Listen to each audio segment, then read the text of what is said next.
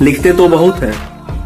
लिखते तो बहुत है, पर सबकी शायरी में वो बात नहीं। और बेटा, तुम टक्कर लोगे यूपी वालों से। इतनी तुम्हारी औकात नहीं।